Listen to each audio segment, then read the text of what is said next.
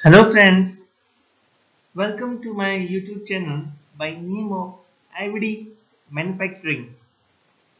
As the name suggests, IVD which itself means in vitro diagnostic where I'll be talking about how to manufacture the IVD based product.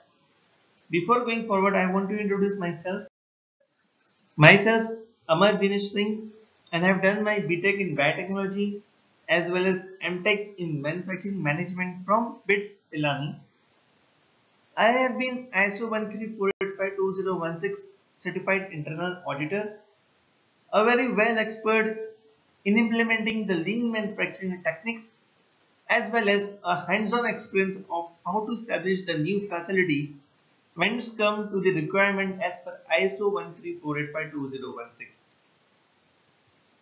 I have been having more than 8 years of experience into this field, especially working in the production of in vitro diagnostic at different level in the established organizations like Jmitra, Avantor, Alere, Abbott and ADVY.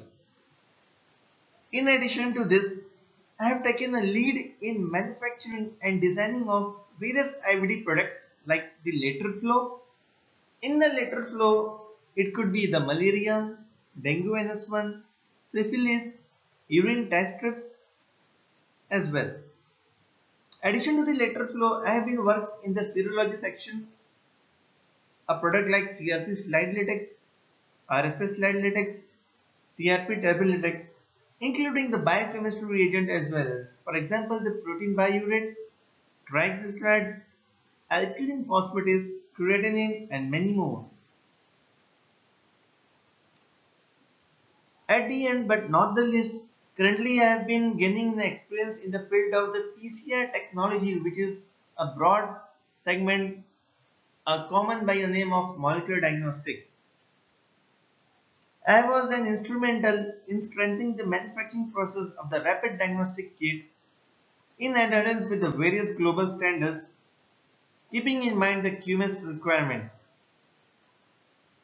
I have a vast experience in the various concepts like risk management, CAPA, customer complaints, post-market surveillance, and many more.